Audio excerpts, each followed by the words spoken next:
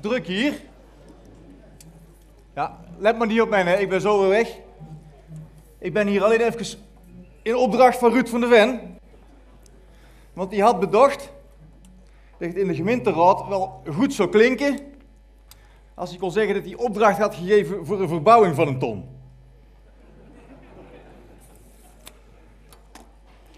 Maar eh, als je dat zo eens bekijkt, Ruud, ik zou er niks aan doen, jongen. Het is minder gammel dan beleid van de gemeente Oosterwijk. En er zitten minder gaten in het partijprogramma van ABB Algemeen Belang. Dus uh, ik zou zeggen, zo laten. Trouwens, uh, over verbouwing van een ton gesproken. Heb ik les nog eentje gedaan, hè? Bij een bekende Nederlandse. Ik zal haar voor de privacy Patricia P. noemen. In het buitenland beter bekend als Patricia P.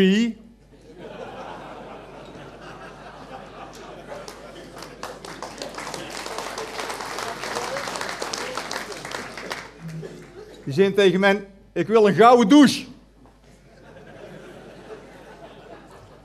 Met een camerasysteem. Ik zeg, vrouwke, doe dat nou niet, daar krijg je gezeik mee.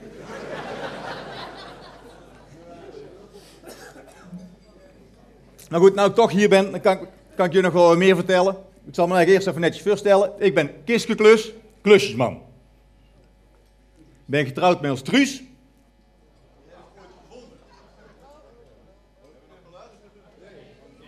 Nee? Roy? Ja, dankjewel.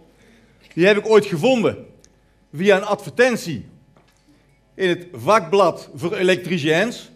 Daar had ik een advertentie geplaatst, een zogeheten stopcontactadvertentie. Daar had ik ingezet.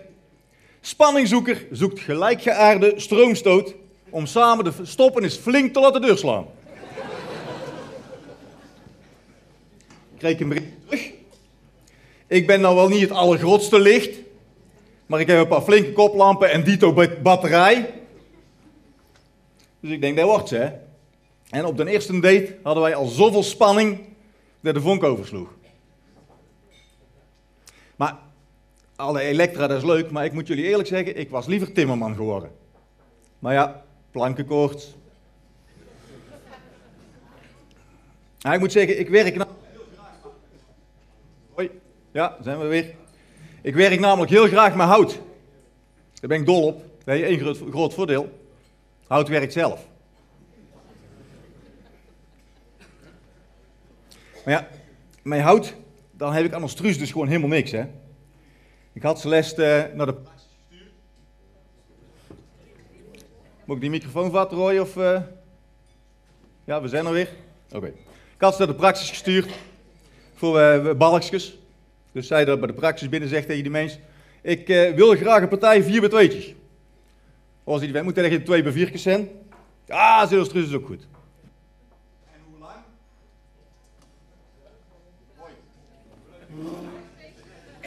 Ja, ben ik er weer?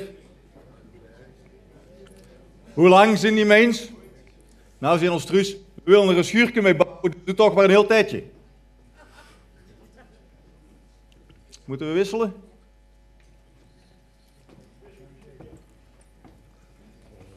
Oh, erbij. We doen hem erbij.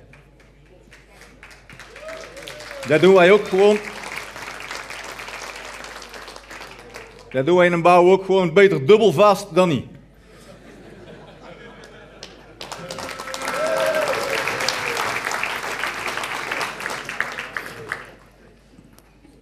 Les trouwens nou een mooi houten vloer gelegd ook. Had die mensen zelf besteld op internet. Dubbelklik laminaat. Maar ja, werken met hout is mooi, maar het heeft ook gevaarlijke kanten. Hè? Zo vind ik bijvoorbeeld dat het aantal zaagongevallen in de houtindustrie veel te gemakkelijk door de vingers gezien wordt. En daarom laat ik mijn eigen regelmatig bijspijkeren. Dan zie je dat trouwens Hans Jansen zitten, dat is ook leuk om te vertellen. Hans heb ik nog een tijdje als knecht gehad. Dat was een paar jaar geleden, toen moest je het even rustig aan doen. Moest je een beetje met zijn handjes werken, niet te veel nadenken. Dus Hans met men op kwaai. Eerste kwaai komen we aan, ik zeg Hans, hier hebben we een bissem, begin maar met vegen. Vegen, zegt Hans. Ik ben universitair geschoold. Jarenlang in het openbaar bestuur gezeten en nou moet ik gaan vegen. Ik zeg, ja, stom van men. Had ik aan moeten denken, geef die bussen maar even hier, dan doe ik het eerst voor.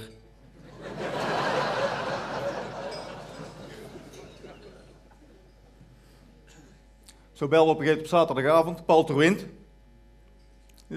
Je moet komen, mijn toilet is verstopt. Zegt Paul, beste vriend, het is zaterdagavond, weekend, ik ben vrij. Ja, maar zit hij, ik ben arts en dan moet ik ook altijd paraat staan. Ze bellen mij ook op de gekste tijden. Je moet me helpen. Zeg, nou oké, dan verleen ik jou een telefonisch consult. Ik zeg, vat maar twee aspirintjes, flikkert ze in de stortbak. Als het maandag nog niet beter is, ze moeten bellen.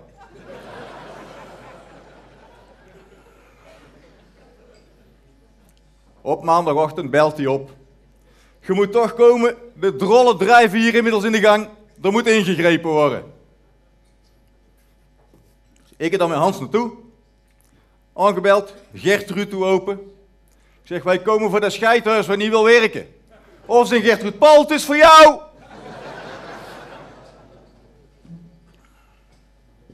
Ik zeg tegen Hans, Hans, als jij nou vast begint hier met die stront een beetje weg te scheppen. Zeg, dan ga ik op zoek naar dat verstopte toilet. Daar stond maar gewoon op de plek waar het hoort te staan. Ja, die was heel flauw. Maar dat is trouwens wel even een tip. Dat is de beste manier om van nagelbijten af te komen. Hè? Klussen aan andermans toilet.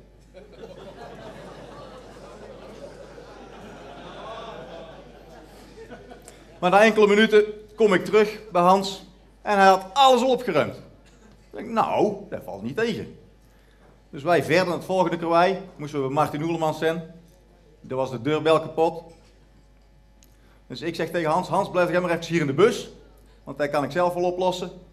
Hier in een bak met kroonsteentjes. Zeg, die moeten uitzoeken. De kapotte moeten weggooien.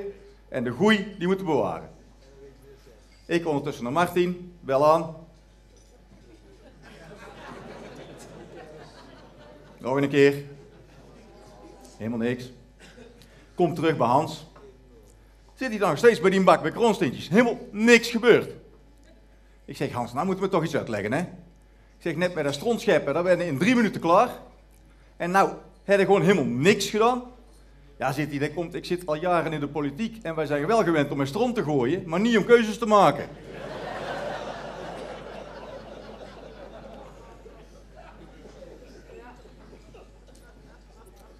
Ons volgende karwei. We moesten met spoed naar Lineke Verhoeven. Wij komen eraan. Ik zeg, waar is de spoed? Dus ja, hier, ik heb een scheur in mijn wc-bril. Zeg, een scheur in uw wc-bril. Waar is daar nou spoed aan? Mee vat ze me de snor, rukt er drie haren uit. Zeg, auw! Dus, en daar acht keer op een dag. Is dat spoed of niet? Oh.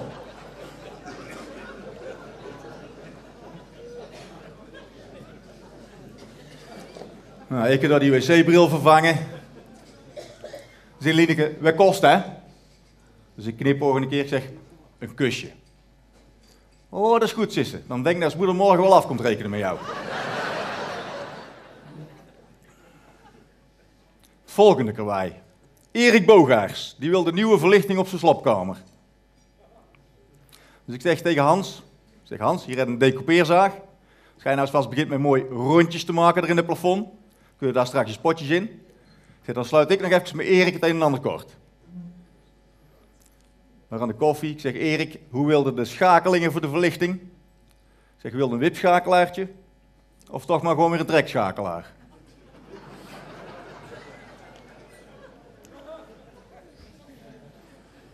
Nou, de koffie op, ik terug. Sta Hans dan met die decoupeerzaag. Drie gatjes gezagen, in drie kwartier. Ik zeg, Hans, kom op jongen, dat kan toch wel wat sneller? Ja, zit hij. Volgens mij is die zaag niet goed. Ik zeg, die zaag niet goed, dus ik bekijk dat ding eens. Douw dat knopje in. Hé, hey, zijn Hans, is dat voor geluid?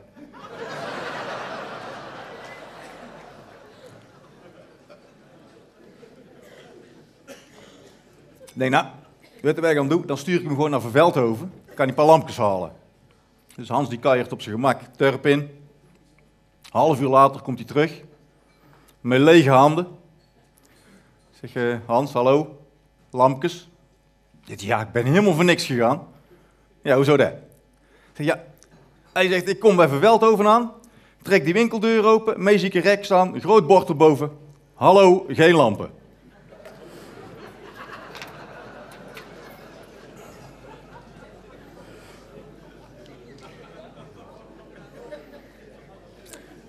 Vervolgens wij naar de Virkes. Dan moest ook nog het een en ander gebeuren. Dat zou ik niet zeggen hè, dat daar iets moet gebeuren, maar... Mark had last van vocht in de kelder. Had twee vissen gevangen met een muizenklem.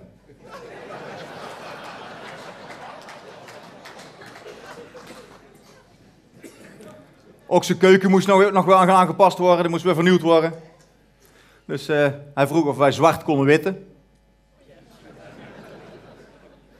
Dus ik zeg tegen Hans, ik zeg Hans, als jij nou eens bij de plafonnetje begint, even mooi schilderen, dan rij ik met hun Daniel naar de Hornbach voor een nieuwe afzuigkap. Dus wij naar de Hornbach, zegt die verkoper tegen Daniel, wilt u ook eh, pijpen voor de afzuigkap?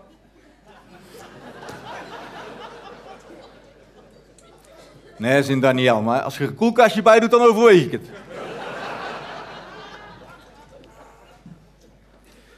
Wij terug naar de Virkes. Staat Hans er als een razende te schilderen. Spetter als een malle. Ik zeg Hans, zou er niet even een krantje onder leggen, jongen? Nee, zegt, die kan er zo ook al bij. Ik zeg, ja, maar waarom verfde jij nou zo snel, jongen? Zit hij, ja, mijn verf is bijna op en ik wil klaar zijn voordat hij helemaal op is. Ik zeg tegen Mark Rijnen, die stond er met zijn handen in zijn zakken bij. Ik zeg, Mark, zou je ook niet iets doen? Zegt hij, nee, dat kan niet. Ik heb namelijk een paar jaar geleden een luie oog gehad en dat is inmiddels helemaal uitgezaaid.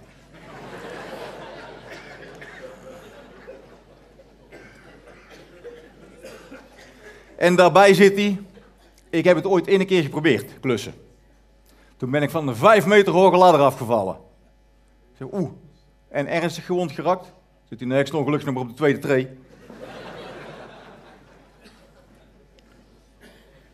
Maar over ladders gesproken, ik moest daar bij de Virkers ook nog even het dak op. Want voor die afzuigkap, daar moest een dakdoorvoer komen. En dan moesten nog wat pannen recht, rechtgeleed worden. Dus ik klim dat dak op. Wij denken, ik glij uit. Met mijn bakken zo pats, vol op die dakpannen. Met mijn tanden over die randjes, tak, tak, tak, tak, tak. Kom onderwege die dakdoorvoer tegen. Met mijn noten vol erop. Er overheen en kletter daar recht voor de, voor de deur op de stoep. Met een hoop volk erbij komt toevallig net dokter Blessing bij wandelen. Wat hier gebeurd, Sisse? Ik zeg, ja, dat weet ik ook niet, ik lig er ook nog maar net. Maar ja, zonder fysieke schade ervan afgekomen. Dat heb ik dan natuurlijk ook wel weer. Betaal mijn eigen jarenlang scheel aan ziektekostenpremie. Flikker ik een keer van een dak af, mankeer ik niks. Overigens belde les uh, Mark Bogaars ook nog een keer. Die zin, uh, bij ons is de deur van de wc kapot. Die wil niet meer open. En ons Hanneke zit er nog op. Heb jij over een week of twee een keer tijd?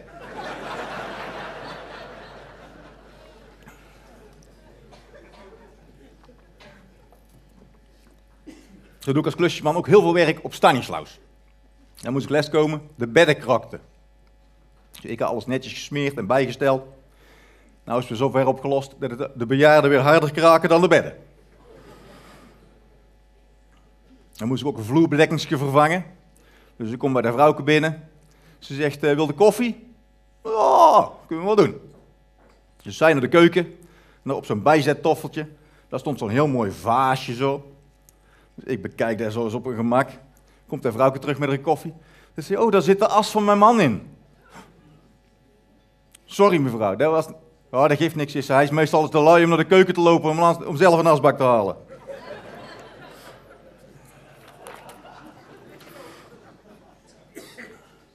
Maar goed, ik dan met die vloerbedekking aan de gang.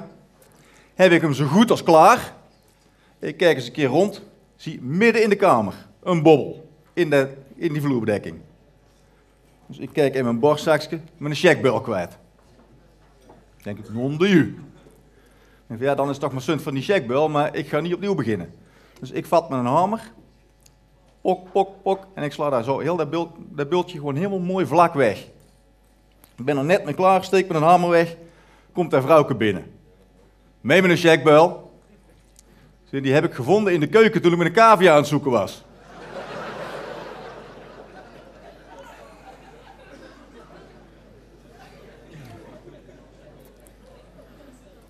Paar deuren verder moest ik ook nog zijn op Stanislaus. Hij had er eentje een Viagra-pil in de wc laten vallen. Die kreeg zijn wc-bril niet meer omlaag. En les had een klusje op Stanislaus. Ik rijd naar, naar, de praxis in Oosterwijk. Ik zeg tegen die mensen, ik moet 6000 stenen hebben.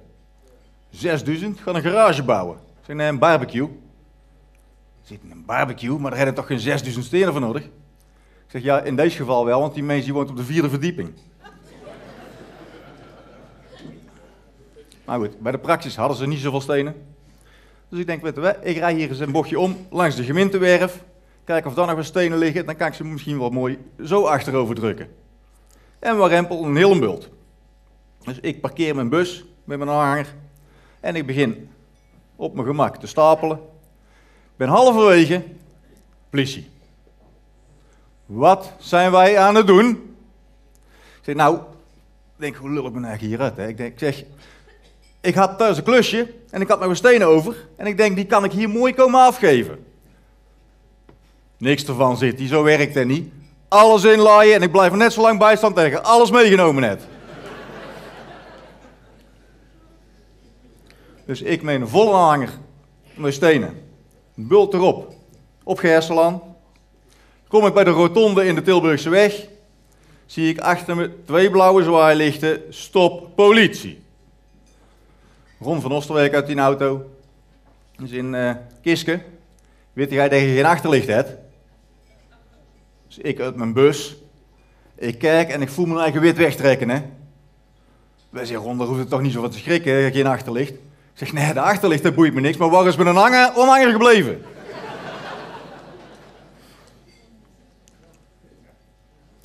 en les ik bij de gebroeders Jansen. Nog een leuk klusje. Die waren bij de Jumbo aan de gang en die moesten we extra personeel inhuren. In eerste instantie werd ik gevraagd om de hoogwerker te komen bedienen. Daar was namelijk iemand uitgevallen. Dus daar op die bouw, daar liep Mark Jansen rond. Een beetje de baas te speulen. Dus hij uh, komt naar me toe en zegt, Kiske, ik zal het jou even vlug uitleggen. Hij ik ben een man van weinig woorden. Ik heb geen zin om hier over die bouw te lopen kwerken. Dus als ik op mijn vingers fluit en ik doe zo, dan wil ik dat je komt. Ik zeg, dat is goed Mark, maar ik ben ook een man van weinig woorden. Dus als ik met mijn kop schud, dan kom ik niet.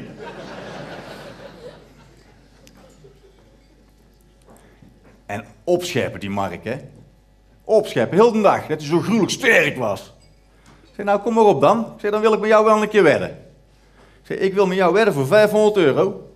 Dat ik iets in de kruiwagen, omdat aan de andere kant van de bouw kan rijden, ga je niet teruggekruid krijgt. Dat is goed, zit. Dus ik vat die kruiwagen, ik zeg, ga maar zitten.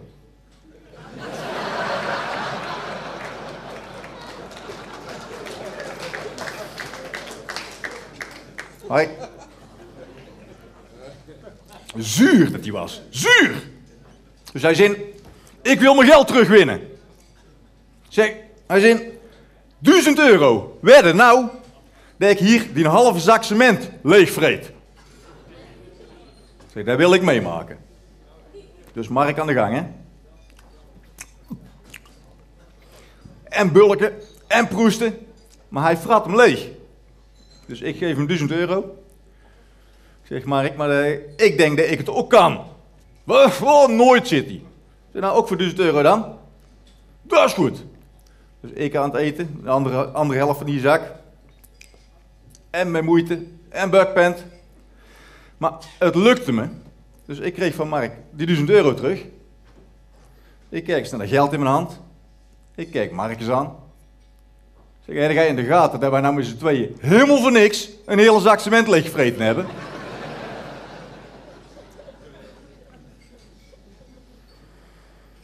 En eigenwijs ook nog een dier. Zo had ik op die bouw, daar bij de Jumbo, een hamer gevonden. Ik denk, dat is mooi. Hamerke gevonden, die is van mij, hè?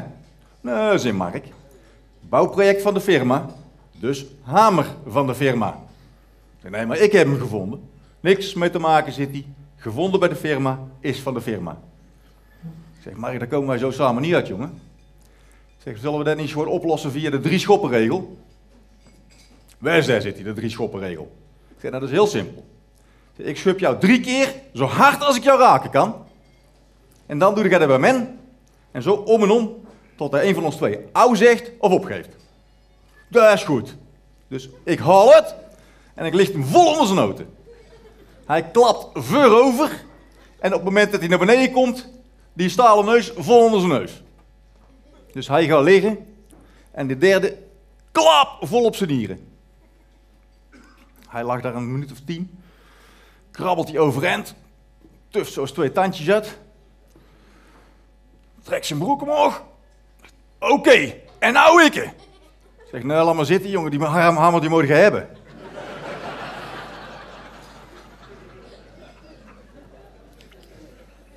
Maar over die nieuwe Jumbo gesproken trouwens. Is wel mooi geworden, hè? Ja, vind niet mooi geworden? En ik weet niet of je het gemerkt hebt, maar er hangen overal, hebben wij geïnstalleerd, overal geurinstallaties. Om het koopgedrag te beïnvloeden. Heel subtiel, maar als je daar binnenkomt en je loopt daar bij de groenten, dan ruikt het heel subtiel de geur van verse regen op een zomerdag. Loopt een stukje verder naar de vleesafdeling, dan ruikt de barbecue. Bij de visafdeling, daar hangt ook zo'n kutgeurtje. Dan loopt het door naar de zuivel. Dan ruikt het de geur van vers gemaaid gras. Bij de eieren een omeletje. En bij de broodafdeling vers gebakken pistoletjes. Nou, dat is allemaal prachtig en mooi, maar ik weet wel dat ik volgende keer mijn pleepapier ergens anders haal.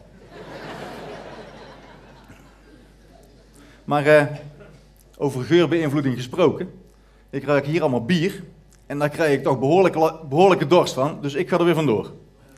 Maar ik wou je nog één ding meegeven. Of je nou met carnaval gaat zuipen of gaat klussen. Probeer trouw te blijven. Of juist een wild vreemde te kussen. Zorg dat je plezier hebt en wat je doet. Dan blijft er goed gemutst en komt alles goed. Houdoe.